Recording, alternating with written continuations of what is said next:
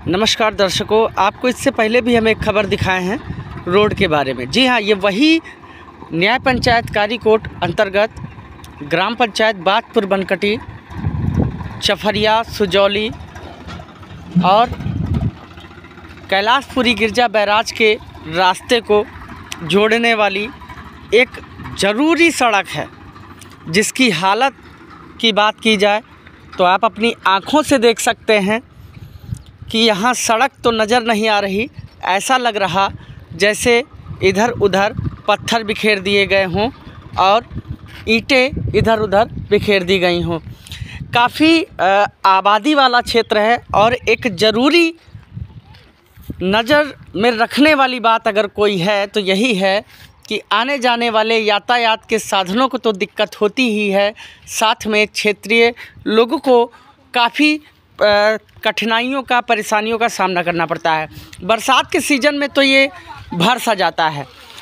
किस तरीके से हमारे जो सड़क निर्माता, इंजीनियर महोदय हैं, ठेकेदार महोदय हैं, और जो उनसे भी ऊपर बैठे हैं, पीडब्ल्यूडी के बड़े अधिकारी कर्मचारी हैं, हमारा उनसे सीधा सवाल है, आखिर ये रोड जो महज दो से तीन साल के अंदर ही ध्वस्त हो जाती है, पूर्ण रूप से ख़त्म हो जाती है।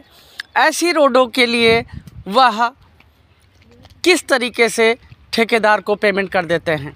कहीं ना कहीं उनका भी परसेंटेज तय है, तभी ये रोड इस तरीके से है। इससे पहले भी खबर दिखाए थे, आज भी हम दिखा दिखा दे रहे हैं। इससे पहले नेताओं की रैली हुई। आने जाने वाले सैकड़ों लोग रहे इस रास्ते पर।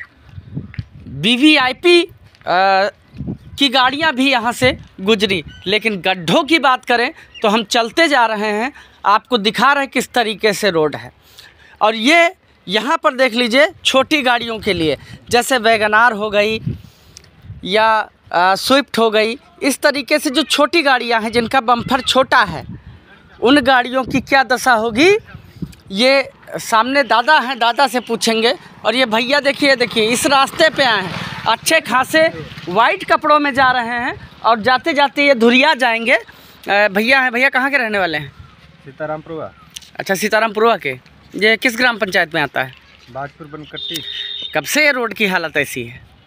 रोड खोई गए दस पंद्रह बीस साल से ऐसे है। ये घर किसका है? हमारा ही। आपका है। तो इससे पहले भी तो बनी थी।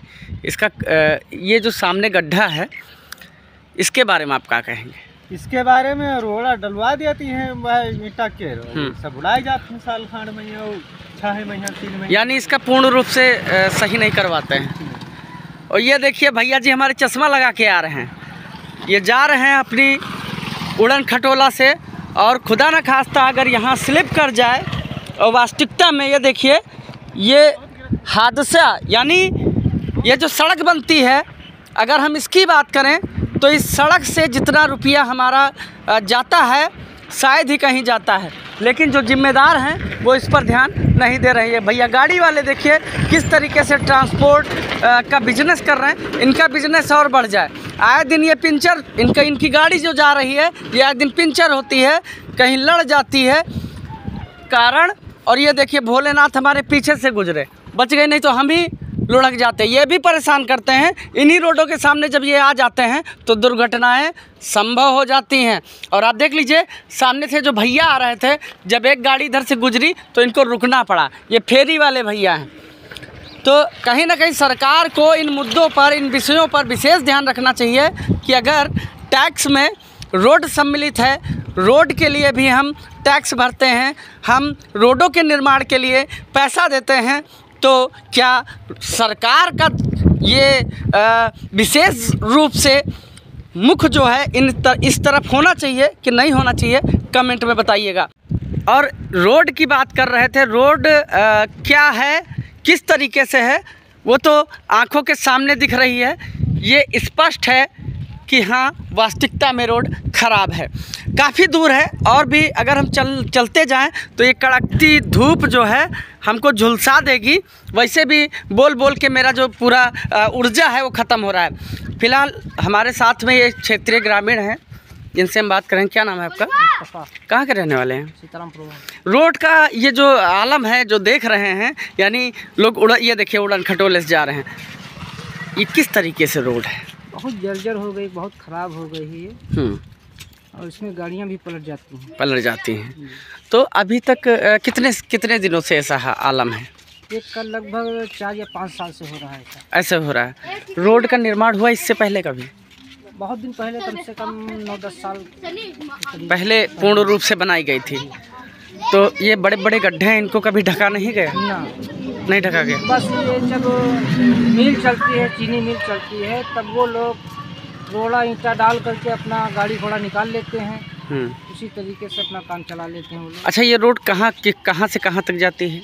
ये चौराहा से और बरखड़िया चफरिया चौराहा से। चफरिया चौराहा से और बरखड़िया तक जाती है बर- लखा लखा बाग तक। लखा बाग चौराहा यानी बरखड़िया होते हुए कैलाशपुरी को कनेक्ट होती है हाँ, हाँ, तो मतलब इससे काफ़ी परेशानियाँ हैं। बहुत ज़्यादा परेशानियाँ तो आप देख सकते हैं ग्रामीण भी त्रस्त हैं, करें तो क्या करें?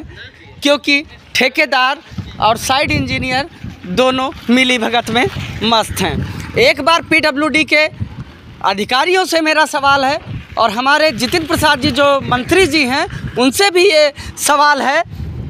और हमारे सड़क एवं परिवहन मंत्री नितिन गडकरी जी से भी हमारा सवाल है कि श्रीमान जी एक बार ग्राम की ओर देखिए, एक बार गाँव की ओर देखिए, क्योंकि ग्राम पंचायतों को कई निधियाँ दी गई हैं। उसमें एक निधि और जोड़ दी गई ओडीएफ ओडीएफ के थ्रू गाँव तो स्वच्छ बना रहे हैं गाँव का विकास कर रहे हैं, लेकिन जो इन गाँव के मूलभूत विकास, रोज़गार का क्षेत्र हो, शिक्षा का क्षेत्र हो, या अन्य कोई क्षेत्र हो, साधन रूपी जो सबसे अहम मुद्दा है, वह यह रोड है, जिसको लेकर के कई बार खबरें प्रकाशित की गई, कई बार ग्रामीणों से, ग्रामीणों ने अपनी आवाज़ हमारे चैनल के माध्यम से सरकार तक पहुँचाने की कोशिश की, लेकिन सरकार का मुद्दा गड्ढा मुक्ति।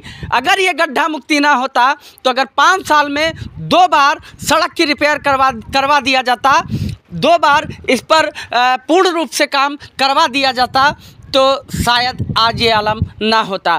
क्योंकि गड्ढा मुक्ति के नाम पर अरबों खरबों अंदर करने वाले उन जिम्मेदार अधिकारियों से, कर्मचारियों से और जिम्मेदार मंत्रियों से मेरा सवाल है कि इसका पैसा कहाँ गया?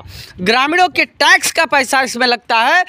आज अगर भारत सरकार चलती है तो टैक्स से चलती है और हर व्यक्ति, चाहे वो एक माचिस लेता हो या कुल्फी बेचने वाला, ये देखिए इस कड़कड़ाती धूप में अपने एसी में बैठे उन लोगों से मेरा सवाल है कि इस कड़कड़ाती धूप में एक आइसक्रीम बेचने वाला भी टैक्स भरता है या आइसक्रीम बेच रहा है, ये भी टैक्स भरता है तो आखिर इसके लिए, इसके ये जो ठेला लेके आ रहा है, इस ठेले को खींचने के लिए यहाँ पर सुगमता वाली रोड होनी चाहिए कि नहीं होनी चाहिए? कमेंट में बताइए। और अगर आपको लगता है कि यहाँ पर विकास होना चाहिए, इस रोड का निर्माण होना चाहिए तो इस वीडियो को, इस खबर को इतना शेयर करिए कि जो गरीब हैं, जो मजदूर वर्ग के लोग हैं, जो ग्रामीण क्षेत्र के लोग हैं, उनके लिए साधनों की सुगमता निश्चित हो जाए और इस तरीके की जो रोडें हैं, उनका निर्माण हो जाए।